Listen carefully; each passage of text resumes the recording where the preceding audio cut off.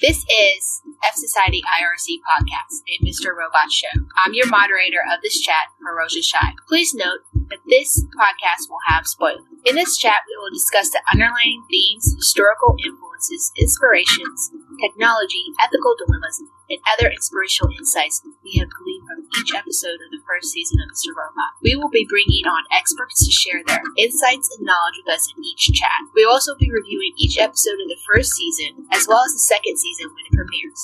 We are awake, we are free, we are alive for F Society IRC podcast. Hello, F Society IRC.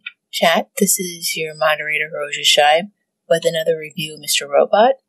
This is season 2, episode 10, Hidden Process. This episode, oh my god, does not even cover it.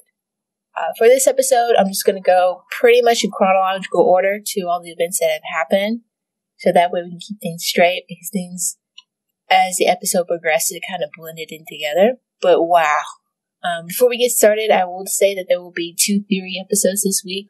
One will be about the Washington uh, Township plant. It'll be the part two, which basically will uh, kind of amend the theory already have out there, plus kind of little pat on the back with the eCoin theory, minus the quantum computer component, as well as a theory that's been going around online since pretty much season one about Mr. Robot Elliot and a third personality. So let's get started. We begin with a book, and that book is The Last Honest Man by Terry Colby. Uh, he is in the office of Philip Price. He is giving an advance copy to Philip Price, and it's a very strange conversation in general what's going on here. Um, as Terry Colby has stated very early on, uh, or she said late on in season one, and they kind of give us a, a little recap of that conversation. You know, business people, the people up on the top, the 1% that Elliot's trying to take down, they don't hold grudges like I guess you could say the normal people do. So him sitting in the office of Philip Price, a man that he was part of a, a lawsuit, if you will, that just got settled, possibly still talking to the feds about the Washington Township cover up and making testimony. They're they're sitting across from one another like it's no big deal. And, you know, they're having a conversation. Colby's saying, you know, kind of bit of a shot, uh, uh, a shot against the bow against Trump. That his book is selling better than Trump's. That you know the dirt that he knows will be enough for him to be a, a vice presidential ticket, if you will, if Trump were ever to run. Philip Price is saying, you know, politicians are puppets. You don't want to do that. And then they start talking about the real purpose or, or reason why Philip Price has Terry Colby in there. And that is to get Terry Colby to convince his friend Winston Campbell to abstain his vote at the UN. So that way, China can annex the Congo. And Terry Colby, the character, even calls it out as he's kind of leaving the office when they're having this conversation, as Phil Price basically press pressures Terry Colby to do this is that he's trading that somehow Price is the most powerful man in the world, and he's trading countries like they're trading cards.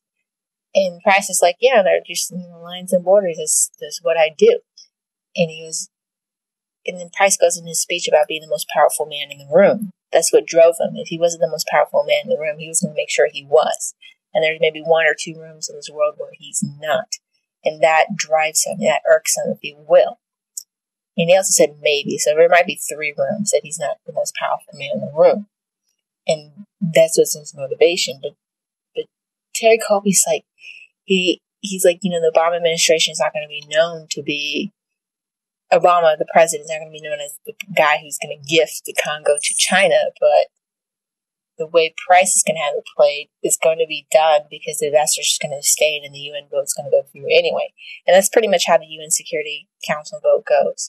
Unless someone vetoes it and votes no, most of those votes go through. There's no in or way around it. That's pretty much how it goes. If you one person vetoes it, that just pretty much kills the, the council vote, if you will. But if you abstain and, and everyone else goes yay, or abstains or doesn't vote on the subject, then it just pretty much goes through. So China is going to get Congo, which is what White Rose wanted. And by having the Congo, it's part of some type of plan or deal that will enable and allow for E Corp to eventually get those uh, loans from China and secure its place once again back into global domination, if you will.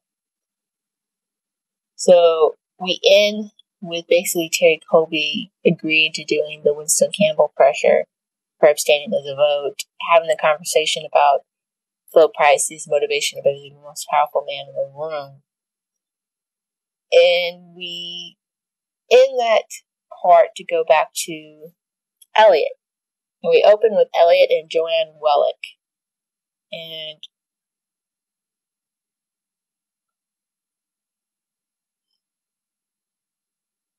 yeah, we just uh, we'll kind of bouncing around here, but basically, she t- calls him Ollie, uh, which is the name that he gave Joanne when uh, they first met. Uh, she pretty much knows that's not what his name is. All she knows is he works for her husband. Uh, Mr. Sutherland, he gets into the car. Uh, Mrs. Sutherland, of course, is not for this, but uh, before Elliot gets in, Joanne says that if he had done his job, they would be having this conversation. So basically, either it's finding Ty- Tyrell Wellick himself through his people, or possibly even picking up Elliot uh, at the prison because that same car was there. Mrs. Sutherland is very con- concerned about what the FBI might um, make conclusions if they see Elliot with them, but at this point, I don't think Joanne really cares too much about that. So they're at this, uh, they're driving and they're at uh, Joanne Wellick's place and it's absolutely silent. And I remember this, having this conversation a very long time ago with a salesperson that basically said the first person who speaks loses. And at this point in time, Joanne is waiting and she's just staring at Elliot and Elliot's having the conversation in his head with not only the audience but Mr. Robot where he feels that Joanne could hear his thoughts, and Mr. Robot's like, I think she can see me. And so Mr. Robot kind of makes a move to leave, but it's actually Elliot leaving, and she says, You can't leave.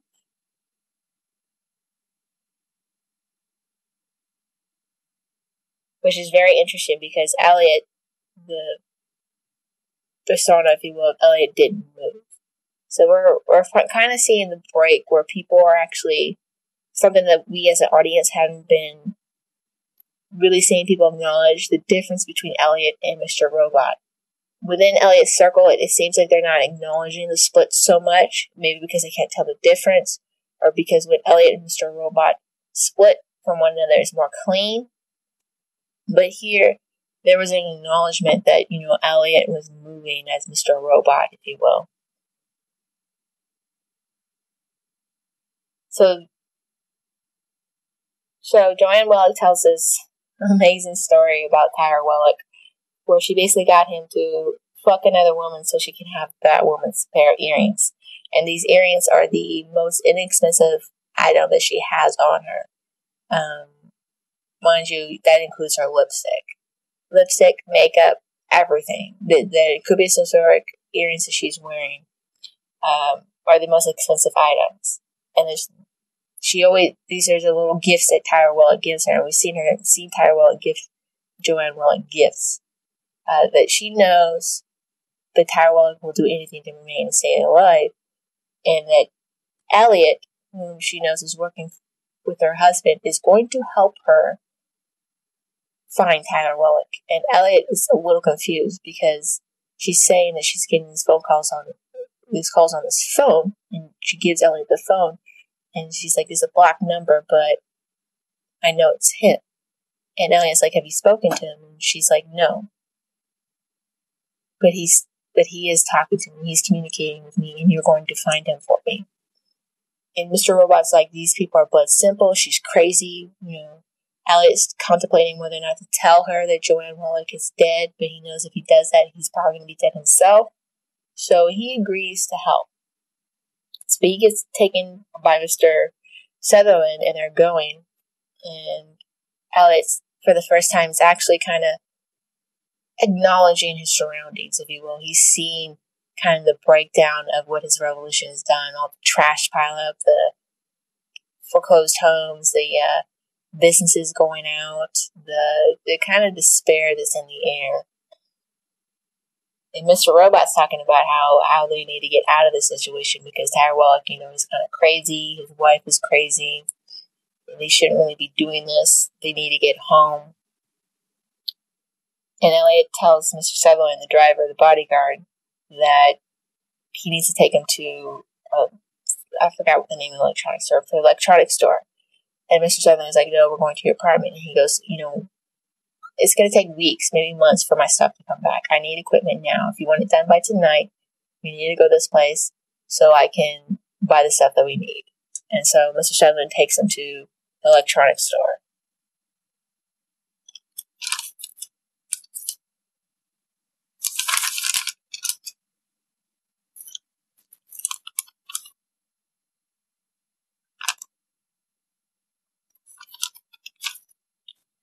So meanwhile, while Elliot is doing all this, Darlene is at home. We find out what the knock is, and it's it's Cisco and Vincent. Vincent is the when the season premiere episode happened, and uh, Darlene took over uh, Susan Jacobs' home. Vincent was the man with the missing leg, talking to Darlene, the unknown man talking to her. He's part of the it, they've been given different names. Uh, the the the Bernie uh, Bros, the Bernie F Society, uh, just Bro F Society, Frat F Society. But basically, that particular wing that was down in D.C. that Darlene had given the mission to the other to one of the other crew members to take over, and this is going to be part of a sequence of fuck ups that both Darlene and Cisco have done that has gotten to where we saw at the end of the episode. But we'll stick with just this episode's fuck up, which is Cisco's mistake by taking the cab straight home. He didn't do any the the what's it called? Um, the security precautions that they've been doing, where they would take a cab here, take a car there, take a take trains, subways, buses, walk, you know, zigzag through the city to get back to a place so they will lose any type of tail. Cisco didn't do that this guy Vincent was like was on the couch at Susan Jacobs' house. He looks really fucked up. He looks like he has internal bleeding. Uh, he still somehow still has his leg. Darlene is concerned that he has a tracker.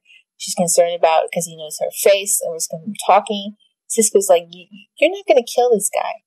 You you you're not going to do that. That's what Darlene wanted to do. And that's probably what Darlene should have done. Is either she should have uh, killed this guy or done what Cisco initially suggested, which was just, was just drop him at the hospital and and go.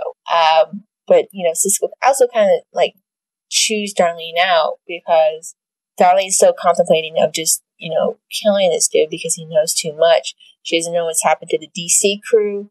Doesn't even know how he got to Susan Jacobs' house, and she choose him choose him out. And I kind of didn't quite like this conversation because a lot of what is happening is not Darlene's fault. I will talk about these fuck ups, but he chews her out about not being a leader. That the that the crew, the F Society thing, they did they did the hack and that's brilliant, but they've been fumbling around in the aftermath, and that she's not special. Uh, this is not some cry for justified, you know, justified killing somebody. That they're they're they've all fucked up, really. And, and this is true in a sense because what happened was because one, Darlene and this is Elliot's fault, didn't know what stage two was. She didn't know the full plan of stage two. So she's operating on either a decoy stage two plan or some kind of ad hoc plan that she knows was the intent that Elliot had when they first had that conversation about keeping E Corp um, on the ropes, keeping them on the knees, and not allowing to allowing them to um, basically rebuild themselves. She's thinking with the humiliating E Corp through you know the ransomware, the burning of the cash, the dropping of the balls um, during the House vote, uh, flying a drone into the Capitol building. That and any other mis- mischief stuff that they've been doing is keeping E Corp uh, at bay, on the ropes, uh, in the news as a negative, negative, negative, and trying to break the confidence that people have in the company. But it's it by leading that she she's she sort of like let it in a way, she did lead it. I, I didn't think, don't think she led them in the wrong way. I just think she didn't have the full information. The second fuck up thing she did was instead of going down to DC and running the DC operation that she obviously planned herself, she left it to somebody else's hands. And the reason why she left it in somebody else's hands was because of the because she didn't know about stage two. The shooting that occurred in China uh, caused the FBI to leave the E Corp building. I imagine the femtocell and that whole uh, owning the FBI's phones was a plan that they were working on to, to attain, to use social engineering and taking their time to do. Because as Darlene has stated when she was trying to get Elliot to convince Angela to help them, it was there was a fortress. It was going to take time to social engineer their way in, and they were probably being cautious. They were probably doing it the right way. The, a, a plan was in place. And even when they brought Angela in, they were trying to teach her how to hack, but they had to accelerate their timetable. So they had to get into the FBI and on their phones and do the DC operation at the same time. Instead of killing the DC operation or focus or giving the um, owning the cell phones to Moby or Trenton and going down to DC herself and taking care of that, she she let the ball go. She dropped it, if you will. And because of that, that that decision to continue on forward and try to do it looks like a couple multiple things at once she not only lost focus, as you saw with the Susan Jacobs thing, which I think was her intent all along, was eventually kill Susan Jacobs. But let's, say, let's give her the benefit of doubt, and she lost focus, and Susan Jacobs, you know, just happening to come into the home, which is a, an opportunity, if you will, a convenient opportunity for her. The this split focus thing that she had um, is causing all these these fuck ups. The the tape, the fact that Cisco just ran back home all these things is a result of loss of focus, of loss of not sticking to point, sticking to mission, and maybe in a sense not being the very special, great leader that Elliot is, and just being just an ordinary leader, working with what she can and doing what she can with the resources that she has.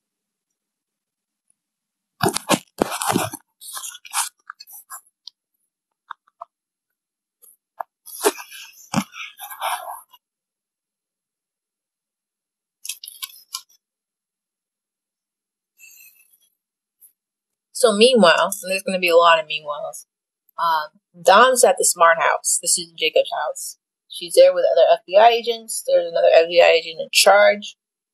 Apparently, there was a car chase two days ago, uh, and it has to do with the uh, drone that hit the Capitol building. Uh, they're calling them the Teabaggers. Apparently, they were in Maryland. They gave chase. One of them escaped they all talked about, because they all got caught alive, talked about coming back to Susan Jacobs' house. And she says one of the guys matches the description on her on uh, Dom's case. And Dom's kind of pissed. She goes like, "Why didn't we just step back and wait for more people to show up? Why did we burn this house?" And the FBI agent's like, "Well, you know, the director, after everything's going on, is being more aggressive, and so this is what we're doing." So the FBI agents are just coming through the house. Who knows what they're going to find? Um, they know that Susan Jacobs can't be reached, so Susan Jacobs is missing. So there's that as well. And now that house is burned. But most importantly, what is found out is that a witness saw a cab and two men get into the cab, and they were able to describe Cisco's face, the guy from the her name case. Uh, I think it's important to note that you know Dom I'm gonna have to apologize because last episode I thought she was Dark Army. I thought she was being a little extra and doing her job to make appearances seem that she was, you know, Miss FBI agent and that she might be the she in um, Philip Price's and White Rose's conversation. But it looks like maybe the she is either the she must be Angela but she's like she's like she's gumshoeing it here. She's trying to she's trying to do her job, and there seems to be all this like either bureaucratic obstacles or someone's actually kind of standing in her way. And we'll talk about who's standing in her way of her trying to you know get her man. So we get back to Elliot and Mr. Robot's talking, and Elliot's like she's just a you know she's a grieving wife. Uh, the place they're going to is a micro center to get the hardware And here's a bit of a shout out to my little theory about eCoin being worth more. You can see on the price tag of the laptop that Elliot uh, is picking up. If you use eCoin, the cryptocurrency regulated by Evil Corp, you get 20% off to use it. Uh, Mr. Robot makes a point, you know, isn't that a bit of ironic, rich, um, that a cryptocurrency regulated by Evil Corp, you know, gives back to the reason why we're doing what we're doing and we need to go home. Another thing that Mr. Robot keeps emphasizing is the fact that they need to get home. Uh, Elliot is picking up, you know, prepaid phones, cables, notebook, and then the phone rings. The phone that Joanne Wellick gave him, that is the phone that Tyrell Wellick, she believes, gave him, or gave her, and he's calling from. And as soon as Elliot picks up the phone, Mr. Robot disappears as there's breathing on the other line. And Elliot says hello, and the person hangs up. And he, he talks to us, he goes, Did you hear that? Did you see that? And then he wonders why, and he walks around thinking that maybe there might be somebody in the in the shop with them. And then he realizes too that Mr. Robot is gone. And he's beginning to doubt whether or not, you know, is Tyrell Wellick dead? Why did Mr. Robot disappear? So he gets home, he gets back to his place, gets to work to setting up the equipment in the high power antenna. And while he's doing it, it intercuts with a scene with um, Darlene and Cisco again, as they are, you know, as they are at the hospital. They did, in fact, do the right thing and they dropped Vincent off. Cisco was like, you know, we didn't have to stay, but Darlene was like, yeah, we, we kind of do. You know, I owe that to him. And they start talking, you know, and she's like, you know, talk a little bit about stage two. Cisco's like, you know, I he doesn't know what stage two is. And she realizes that she's not special like Elliot.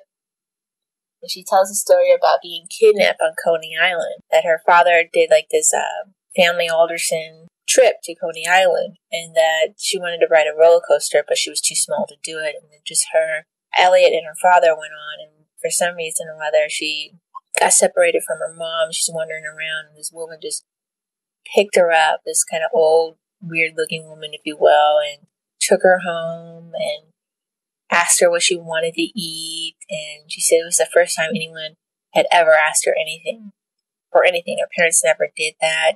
She got what she wanted. She she was laying in the bed. It looked like a kind of like one of those princess beds, and she she was happy and uh, she was afraid. She was afraid that as soon as she woke up, she was going to be at home and she was going to be at this woman's place. But she was. She was at this woman's place, and she was even happy, more happier because she didn't want to go home. And then the police show up and take her away, and she never saw that woman again. Woman again, but she often wondered what her life would be like if she stayed with that woman. But then she realized she wouldn't have Elliot. And that's when she talked about how you know she's not that special. She knows all this is because of Elliot and her trying to be be like Elliot or be like that person that that person like Elliot is is really not who she is.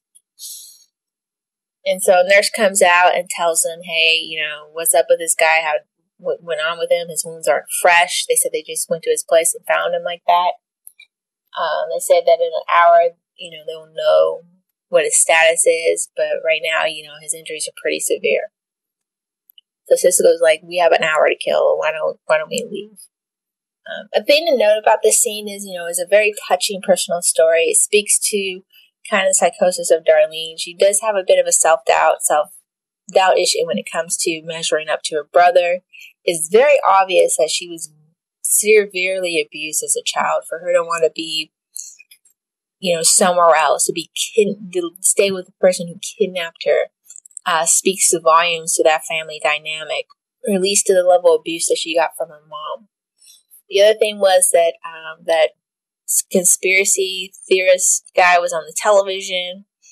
Uh, they're kind of out in the open here. They're not really covering their faces or covering their tracks. Who knows if they gave their real names when they dropped their friend off? I mean, they're they're kind of making some mistakes here. They should have just dropped Vincent off and left to kind of prevent them from being tied to him uh, you, you know, gone back to Cisco's house and wiped the place down. Just pretty much got out of Dodge here until they could figure things out. Either contacted Elliot or hook these up. The fact that Darlene didn't contact Elliot speaks kind of volumes, and I don't know if it's because she's been operating at such a mode without Elliot that what normally would have been her instinct to go to her brother wasn't there. So as we're intercutting here in this story, we um we get Elliot setting up shop. He's getting a Wickr from Angela to meet up. He's doing his thing that he has to do. He's downloading Kali Linux to boot up um, operating system on the notebook. He has a fax machine that he's going to spoof because he's going to social engineer his way into the phone companies as an NYPD um, police officer. He's tracking down all the information. Um, from what I've read online, everyone, or pretty much everything he's doing is pretty exacting as usual. Uh, he half the the guy that he's with, Sutherland, half wants it to be him on the phone, half wants it not to be him. He starts uh, talking to Elliot a little bit as they're they're going through this process. He talks about his clients and one of them being a first chair uh, violist uh, with uh, the Met, I guess, and talks about how he like to masturbate. And he says, you know, he's had weird kind of clients before, and Elliot's like turning around, and you know, he doesn't he doesn't do these personal one on one things. It's not his thing, so he kind of like tunes the guy out. But he asks us as the audience to kind of look for what Mr. Robot may have hidden in the apartment, and it's kind of like a VR 360 Facebook type of a deal as we're going around the apartment looking for um, places and things. It seems like there might be something hidden in the mail. There's a couple different theories on that. Oh, we'll get to that when we get to the end of this bit here. But he asks us for to look for it. Elliot eventually gets back into back into the mode, kind of tunes the guy out, gets back to the plan. He's pretending to be the uh, the detective, is stating that um, the suicidal person keeps calling his ex girlfriend from a blocked number, so they're trying to find the current location of the person. They find it is uh, 92 East 82nd Street, New York, New York, uh, which is at kind of an actual location, kind of not. Mr. Sutherland knows the location, and he's like it, how accurate it is, and Elliot's like 12 within 12 meters. It seems like Mr. Sutherland kind of freaks out. He's like, God damn it! Takes a picture of the screen. He goes, he wouldn't be calling from that house, and then he leaves. So now Elliot's alone.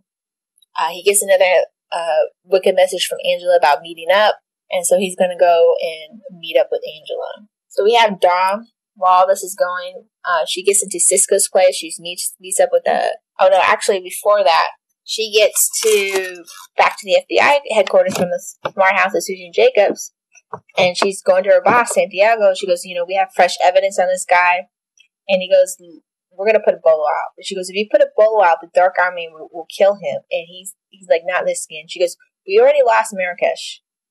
And Santiago says, we're going to the media. media. We're going to use the Ollie Parker sketch, which is the first sketch of uh, Cisco about putting the CD in a place. And he tells her to meet up with Agent Thompson, so that way they can coordinate things with with uh, with them. And Dom's not having it. She doesn't understand why Santiago wants to do it this way, but he's like he's already made the phone calls. He's sending out the bolo. Uh, I think Santiago, like I stated, like when uh, the initial FBI shooting was happening, bit of a weasel guy, seemed a bit nervous. He might be Dark Army. It's seeming more and more hinting that he possibly might be the informant within Dark Army, passing information. The fact that he already burned Susan Jacobs house, the fact that he wants to go to media with Bolo. Not only that, but you have to also remember the the Dark Army also owns the FBI phones as well, so all that information is getting out there.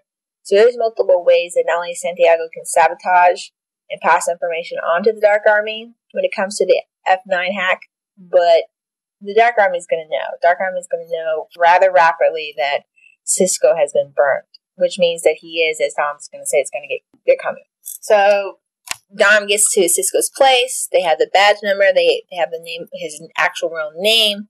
They're going through his house. And because Cisco went directly to his place with the cab, they, you know, they got, they just got owned. All, all of uh, the tapes, the equipment, his computer, her computer are all there. So they're going to get burned. They're going to get tied to the F9 hack, being part of F Society they're pretty much screwed. So as they're going through, you know, Cisco's place, Dom gets a call. She meets up with her boss at the hospital. The bolo worked out. Turns out the one of the guys, the, the two uh, that Cisco dropped off, the guy that was at the smart house there. They also find out that um, he was with somebody, a woman. Santiago's trying trying to tell time to slow a roll. We're going to go through the tapes and figure things out. Uh, they're probably long gone because of the bolo. And, and Dom's just not buying it. Santiago go, goes off to go get the tapes to look at security footage. They obviously have secured Vincent because he's one of the um, the men from the, the, as they call them, the teabaggers. And Dom's just, she's just in the lobby, just swirling around, staring at everything, trying to figure out, you know, why they were there. Why did they just not just drop the guy off at the hospital? if they're wanted. If his face has been plastered all over the media, why why did they stay? Why did they sit there? Why did they wait? How come it was like only a while ago that they you know, she's just trying to run through their head what's going on, what's going on. She eventually asks the nurse, she goes, um, why did you wait so long to call? And then the nurse is kind of a little freaked out. She goes, You're not in trouble. I'm just trying to figure this out. She goes, Well, probably because when or whether the other nurse that was coming on turns the TV onto the news. I mean, Dom pointed out the TV's like right there. It's normally not on the news. And Dom's like, okay, they don't know the bolo's out. So that means they're probably co- close, that they're, they're going to come back. And she's looking around and she knows she's not going to get Santiago's permission to vacate the hospital to make it, uh, you know, kind of a honey trap. So she goes around. She goes, they're not far if they're coming back. And she starts looking for them. So Angela and Elliot, and Angela's just, she's freaked out. She's despondent. They're meeting in the in the subway car. Elliot apologizes that he didn't get to her sooner. And the first thing Angela asks is, why did he start F Society? And this is where the part where a lot of people are hinging on the fact, and it's been a, some, a theory for a while, that there might be three personalities with Elliot, Mr. Robot, the personality we currently see on the show, and then maybe the original Elliot.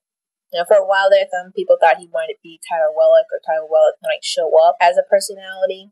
I don't believe that to be the case. I do believe that there is original Elliot. I talked about it a little bit last season, but the the reactions that were going across his face seemed like three separate different types of reactions. And then Elliot responds to her saying, you know, I didn't want to get you involved. Didn't, I didn't want you to be part of this at all. And Angela just kind of looks at him and she goes, I'm going to turn myself in. I'm going to say that I, I pointed the from so I'm going to own up to what she has done. And Ellen starts going in his in monologue. She's like, I, I hid in a cage, and while everyone else is dealing with everything that's going on, the consequences. And she's like, she starts talking to him, like, you know, we're a long way from, you know, Back to the Future 2, getting high. He goes, We never actually really did that, did we? And she goes, No. You know, she and she also says, you know, remember when you were at the Queen? I found you at the Queen's Museum, and you were yelling at the staff because they couldn't see who who you saw. Was that your dad or someone else? And Elliot just was kind of silent. She goes, "You you can't work with him. You can't trust him, Elliot. Uh, don't trick yourself into doing this." Angela's like, "I'm going to meet with my lawyer. I'm going to do this. This is it. This is something that can be done." and she tells him you probably should get off as the subway is closing. And they hug, and then Angela kisses him, and he leaves. Um, I know a lot of people don't think this is like within character for Angela. Something she was already with the FBI and she already done it. I don't think that's the case. I think when Dom came to her home after she went to the nu- nuclear regulatory uh, place, I think she was super freaked. I think she realized just how deep she was with anything and that she could not do things the right way. She couldn't do good within evil corp. That she may have possibly almost been killed that night. And then she has the FBI person come to her home and telling her that somebody might snatch her from the middle in the middle of the night on the street. So I think she's completely freaked. I think her going to her lawyer and owning up to stuff is probably the smart play for her. She's always about the smart play. I think she really wanted to do good by stopping Evil Corp. But I think she's one of the few people besides Cisco and even um, to some extent Mobley that realize the extent of what it is that they're doing. And she's telling Elliot about how they can't fight them. That's why she's turning them in. That they're always are going to win. That they're always going to get to you. And there's no way to beat, in essence, the system the system's going to win. and she's conceding to that. She she wants to live. She wants to survive, and this is the thing that she thinks will not only allow her to survive and live, but maybe pull out of it somehow. Another key thing about this is it goes far as to the extent that you know it was kind of hinted last season when it was revealed to the audience that the person Elliot's been talking to, Mr. Robot, was his father that Angela's known about his personality and stuff like that, but maybe she didn't know exactly who he was talking to.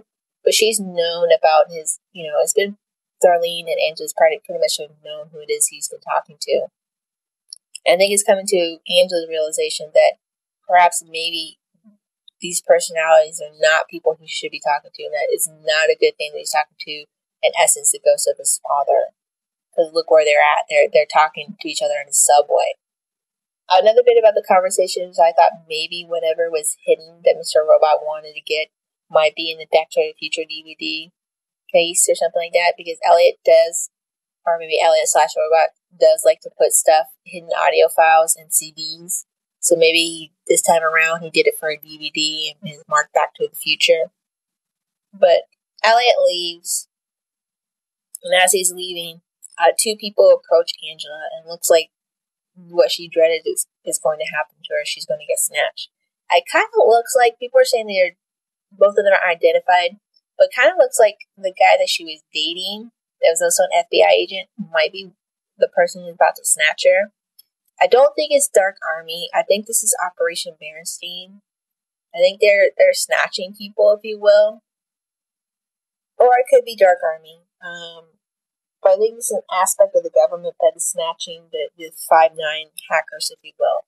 Again, like I said, the government or the, the power structure needs to present to the people uh, the guilty parties, if you will, so everything can get wrapped up in a nice little package.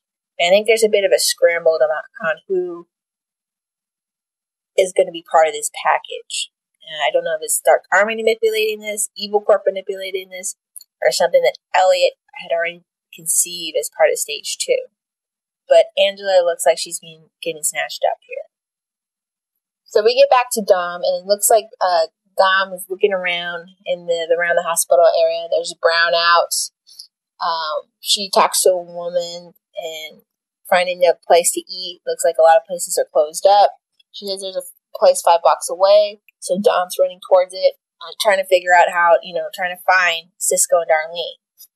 So Darlene and Cisco are at this place called Lupe's. Um, they don't know about the bolo that was put out in Cisco because they they they're not on their social media or cell phones. They're kind of in their own little world.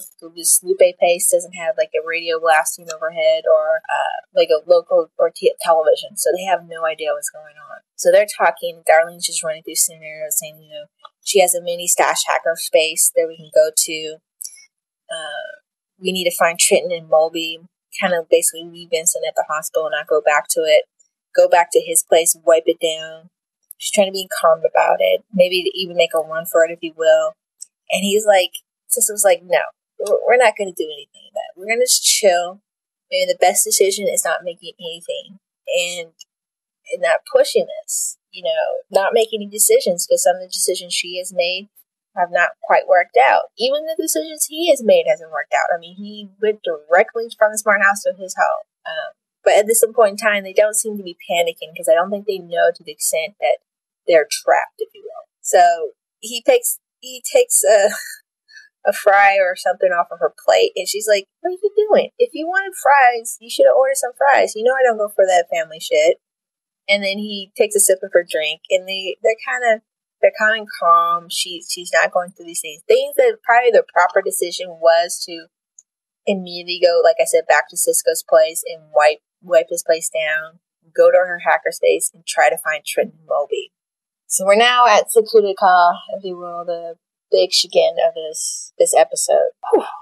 So Dom finds them. She's outside. This is all one shot. She calls it in. She calls it in. She's a cop, and that's what you do. She calls it in. She goes into um, the restaurant. I have seen stuff online where people have cleaned up the audio about what's going on. Um, I can't say for sure because it went into the show actually completely pre- presented to us. Um, I'm not. I'm not saying it's not true. I'm just. I'm just. I'm not gonna go as as it being truthful for the moment. But just by the body language, like if someone were to come in, even with Dom's awkwardness and her way of uh, having social interactions, were to cause Cisco and Darlene to pause for a moment at the table. The moment she said FBI, I would imagine they were going to run, but they didn't. And so I'm going to be curious of what the diner conversation is. But we can see because our view is from the outside that a motorcycle's coming up, and it's obvious it's a is a dark army. You know, there's two people on the motorcycle. They park in front of across the way from diner. You could actually see as the crosswalk actually counts down from green, and then it counts down like the red is counting down, and this guy has the same type of weapon that was used at the FBI shooting in China. Pulls it out. Dom sees and Dom drops, which we'll get back to in a second. And it looks like Cisco's dead. It looks like Darlene's possibly dead, but this the the hitman fires upon into the diner. Possibly other diner people who are dead as well, and um, gets them. Dom pops back up, hits the guy twice. It looks like he might got hit by the leg, possibly in the chest. Police sirens are coming because they're coming to the, location because it was already called in.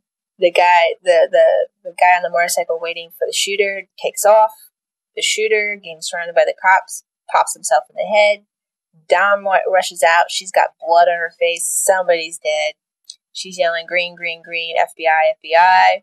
She's holding her badge and her gun up, and she's she's running towards the camera, looking around, looking towards the direction of the motorcycle. That is the end of the episode. This episode, in general, was like super tense. Just the way they intercut everything from the the little mini hack that Elliot did from his meeting with Joanna to Cisco and Darlene dropping Vincent off and then leaving in the diner scene. Oh, I'll say this: uh, the like I said, I want to apologize and say the Dom is not the Dark Army agent. It looks like it might be her boss, Santiago. Then again, um, the Dark Army do own the FBI phones, just like F Society did. They may have been monitoring as soon as the bolo went out. They probably sent agents out to Cisco's location to the Susan Jacobs house and then eventually tracked everything down to the hospital. As soon as, you know, Ebola was reached, they probably went to the hospital, started circling around looking for Cisco and Darlene. Primarily, most likely Cisco because his face. Uh, the fact that Dom, like, just second time in a row, uh, dropped to the ground, it makes me wonder um, if Dom maybe it turns out it has some background in some military history, if you will, because even a those FBI agents, when shots were fired, didn't drop as quickly as Dom did. Um, just someone as a military brat and's been around with military people, there are reflexes for certain things, especially combat soldiers. Like when it comes to that, I've seen it happen. People had um, PST episodes where you know something went off and they literally hit the ground. Like one minute they're standing, one second they're standing, the next second they're just, on the ground flat. Like you can't believe they moved that fast. Uh, even given their, their, their age and height and weight and all that, I I would be would be curious if that's the case with her because she was just as soon as that gunman was at the window, she was down to the ground. It was so quick, and then she popped up very quickly. Then again, it could be FBI training. It could be completely FBI training. But I was just curious the gap between when she left law school and left the uh, individual that proposed her and then wound up in the FBI a, a period of that time. Because it's very clear that Dom is much older than a lot of the characters there. She's more experienced. She's been doing her job for a while. She's somewhere in her. I know the actress is um, probably like 30, 32. Maybe she's somewhere around the same age. It'd be interesting to know if, a bit older, if you will, if she maybe might be 35 or something. It might have spent some time in the military. You know that Mobley um, might have. There's some hints to that. I think. Not positive, I'm sure on that, but it's a possibility. It's something that uh, Don has done. What are the wrap ups when we talk about this episode? Only two episodes left. Um, my understanding is they're splitting. The season finale is going to be one episode, and then the next episode's two parter. There's still a lot of stuff in the air. There's, you know, is Tyrell alive? What what is that place that um, Mr. Sutherland's like is that he would be calling there from there? Um, is it somebody you know all along messing with uh, Joanne Wellick? Is it like Scott Knowles or Terry Colby or somebody else? Uh, what is stage two? Um, how does Elliot play a part in stage two since is his plan? Who exactly snatched Angela? Is Darlene alive? Is I, I don't think Cisco's alive, but is Cisco alive? And what's next for Dom? We know, you know, she's she's kind of got her man, but he's dead. Is she going to figure out that maybe possibility that her boss sabotaged her case, or somehow Dark Army has a mole? Where's Trenton Mobley? There's these are the type of questions going on. What is, what is stage two? Why does White Rose want the Congo and the Washington Township plant? And how is it all tied with Evil Corp's domination of the financial markets? I will talk about some of those in the, in the theories, but these are the type of questions that are being presented for the season finale, and who knows if any of them or more questions are going to be be asked uh, when these two episodes drop. Well, that is it for now. Uh, thank you very much for listening and logging on.